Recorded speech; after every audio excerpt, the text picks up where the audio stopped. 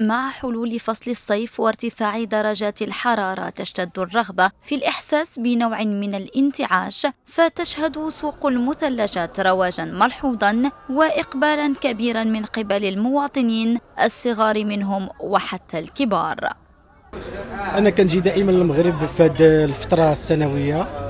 كنجي من بلجيكا نقة في بروكسل.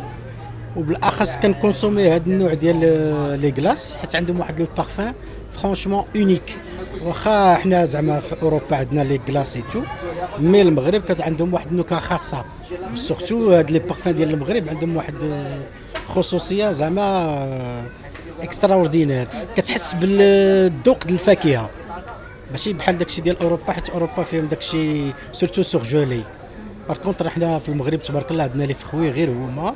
زعما داكشي طبيعي. داكشي علاش كيعطيهم واحد النكهه زعما عجيبة.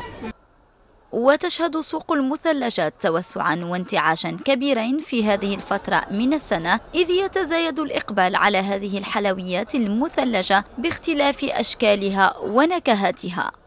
آه، في الوقت ديال الصيف كيخرجوا. ماشي بديك الدرجة ديالها. تدخل بديك 70% وكيكون استهلاك ديال ديال ديال العائلات بحكم الصيف وبحكم كونجيات les vacances السياحة شي شوية تتعدى تحرك شوية هنا في la côte والأطفال تا هما تياخذوا لي كلاص المهم في الصيف تيكون هو اللي محرك.